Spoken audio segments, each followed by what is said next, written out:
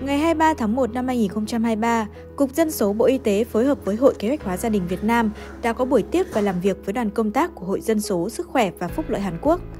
Tham dự buổi làm việc có ông Lê Thanh Dũng, Cục trưởng Cục Dân số, Phó giáo sư tiến sĩ Phạm Bá Nhất, Chủ tịch Hội Kế hoạch hóa gia đình Việt Nam, ông Song Ki-su, Giám đốc chi nhánh John Book Hội Dân số Sức khỏe và Phúc lợi Hàn Quốc,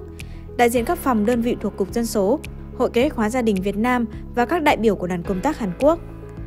Tại buổi làm việc, ông Lê Thanh Dũng, Cục trưởng Cục Dân số nhiệt liệt chào mừng đoàn công tác đến thăm và làm việc tại Việt Nam.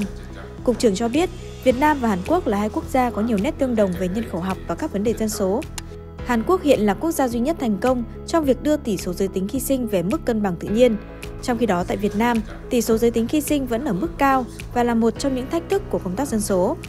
Bên cạnh đó, Hàn Quốc đang phải đối mặt với tỷ lệ sinh thấp và xu hướng này đã xuất hiện tại một số địa phương ở Việt Nam. Cục trưởng Lê Thanh Dũng hy vọng trong thời gian tới hai bên sẽ có nhiều hoạt động hợp tác thiết thực để cùng trao đổi, chia sẻ kinh nghiệm trong giải quyết các vấn đề dân số.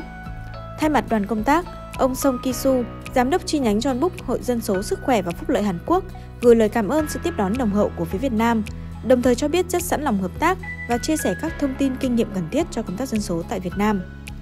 Tại buổi làm việc, các đại biểu đã thảo luận thống nhất một số nội dung triển khai hợp tác trong thời gian tới về kiểm soát mất cân bằng giới tính khi sinh, trong khuôn khổ chuyến làm việc tại Việt Nam, đoàn công tác của Hội Dân số Sức khỏe và Phúc lợi Hàn Quốc sẽ tới thăm và làm việc với Hội Kế hoạch hóa gia đình tỉnh Hưng Yên, Hội Kế hoạch hóa gia đình tỉnh Nam Định về các chương trình mô hình hoạt động liên quan đến lĩnh vực dân số, sức khỏe sinh sản và vấn đề mất cân bằng giới tính khi sinh.